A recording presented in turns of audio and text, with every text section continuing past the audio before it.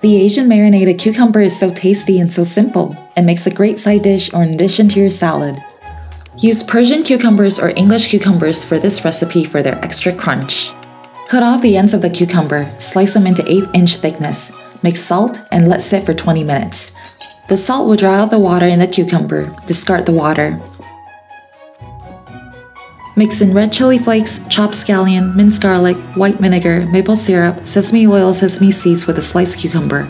It is ready to be served or wait for 15 minutes to let the cucumbers marinate some more. You can make a big batch in advance. Like and subscribe for more delicious recipes and let me know if you made this.